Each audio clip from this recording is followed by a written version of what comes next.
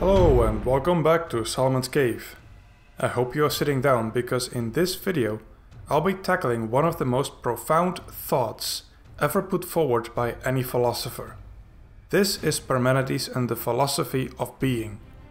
Parmenides lived somewhere between 515 and 445 BC. That is after the Milesians, and together with Xenophanes he bridges the gap between Pythagoras and Socrates. As is often the case, scholars speculate if he was a student of Xenophanes or some other philosophers, but there is no direct evidence to support that. Plato tells us a story that when Parmenides was old, he visited Athens and had an encounter with Socrates. We cannot be sure that this actually happened, but it does seem to fit with the timeline. He did not live in Athens, however, but in the city of Elea on the Italian peninsula, but still within the greater Greek realm, where he studied and then taught philosophy. Now, I call Parmenides one of the four major pre Socratic philosophers, along with Thales and Pythagoras, because his theories are among the most profound and impactful in Western philosophy. And he also represents one of the two sides in what I have previously called the greatest debate of all time. Because if you remember the end of the video I did about Pythagoras, I mentioned that there are now two distinct ways of doing philosophy. One is a deductive reasoning, where you engage in pure logic, and the other one was an observation followed by inductive reasoning, or trying to make sense of your observations. And that philosophers can analyze both the nature of reality and the form of reality. The Milesians had so far mainly studied the nature of reality, and they used observation followed by inductive reasoning to form theories. While Pythagoras had tried to study the form of reality using mainly deductive reasoning or strict logic. According to Parmenides, both approaches were wrong. He had to get back to studying the nature of reality, and not its form, but then he used a very strict logic. And as he was doing that, something started to bother him. Several things, in fact. For example, if there was indeed an arche, whether it's water or the apeiron or air, that would ultimately mean that there were little particles of arche, right? As in, if you were to break it down to its smallest components, you would get little bits of pure arche. And Anaximenes said that you get different materials depending on how far apart these particles are. The closer together those particles, the harder, the colder, and the more rock-like the substance was. And if it was further apart, the hotter and more fire-like it was. But here is a question. What is in between those particles? If you say, well, there is something between them, then that will mean that there is another substance, a second arche. But that was undercutting the whole idea that there was an arche, namely a one single substance, and not two substances. And if you said nothing, then what was stopping those particles from sticking to each other? Incidentally, this question would only be fully answered in a mathematical sense by Albert Einstein's theory of general relativity. Just to give you an idea of how much of a headache this question gave philosophers and scientists for most of our history. Another question is one that came from Xenophanes, namely the difference between knowledge, that is, things you know absolutely sure and that cannot be questioned, and things that you may or may not be sure about, but you only have beliefs or opinions about it. How do you distinguish between those two?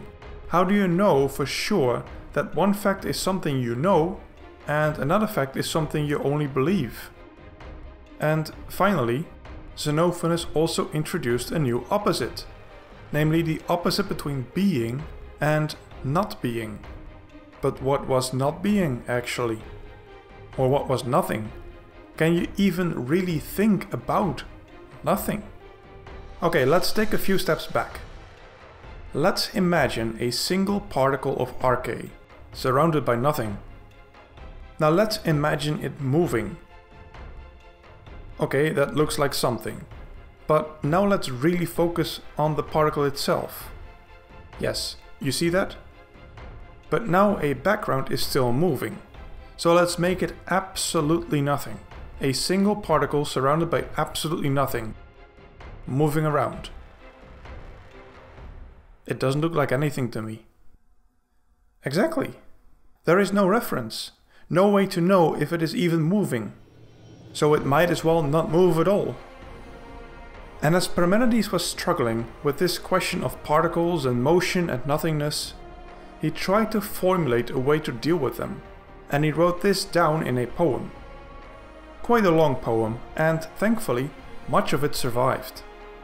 In it, he begins by describing something like a journey to heaven, where he is introduced to a goddess. To us, this sounds strange, but it probably is just a stylistic figure and not an actual claim to divine revelation like Moses or Pythagoras. The goddess then explains to him that there are two ways of thinking thinking with rigid logic or having an opinion. And then there are two things to think about thinking about what is and about what is not. Then he is told that you should only think with a rigid logic and only about what is. He should not pay attention to all the different opinions of men, nor should he think about what is not, because it is literally unthinkable. And this is what follows when you think logically about what is, which is the second part of the poem. Whatever is, is. And what is, must be. What is cannot not exist. And what is not cannot exist. Did you follow that? Whatever is, is. And whatever is necessarily exists. And then the opposite, whatever does not exist, cannot exist. And it is necessary that it doesn't exist. As a philosopher, Parmenides must think about what is, not about what is not, but only about what is. What is cannot be destroyed, nor can it come into existence, because if something comes into existence, where did it come from? And if it is destroyed, where does it go? Nowhere.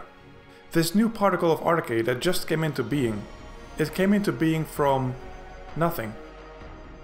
Truly nothing. How can that generate something?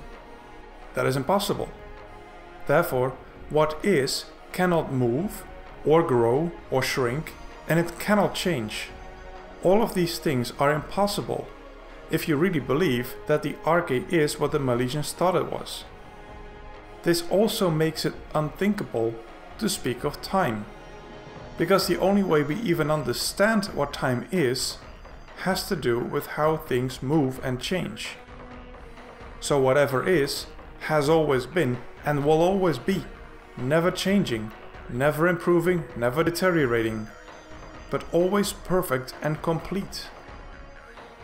But what about everything that I see, and that is moving? What is that? All of that is an illusion. Nothing you see or hear is really what is out there. Those are only opinions because everyone has different impressions, experiences, and observations. None of it is truly real. And the only reason you think that change is real and that one thing is different from another is because that is how you are trained to think. But if we just open our eyes and think rationally, we will see that only what is, is, and that what is not, is not and cannot be thought of.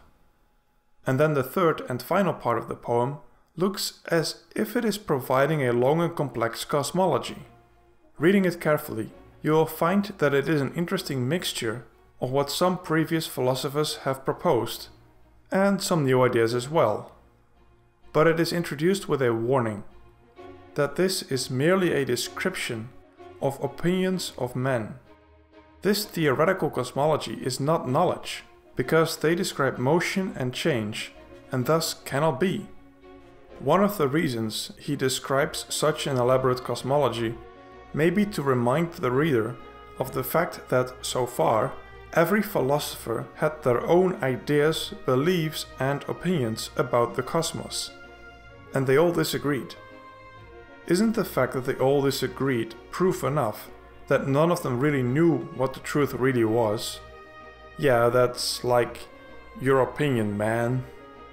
So to summarize, Parmenides is studying the nature of reality, and he is using a rigid logic to drive his point home.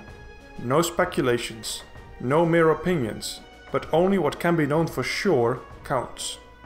This leads to the conclusion that whatever is truly is, and what is not cannot exist, and cannot be spoken about and cannot be thought. What follows necessarily from this approach is that much of what we believe or assume about reality is not true.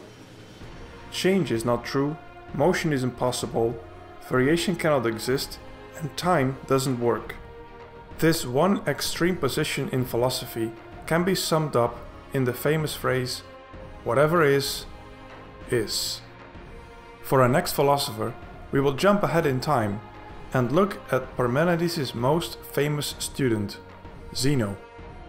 Then we will come back to this time and see which philosopher is going to take Parmenides to task with an opposite and equally extreme position. In the meantime, you can subscribe for more and follow me on social media to see what else I'm working on.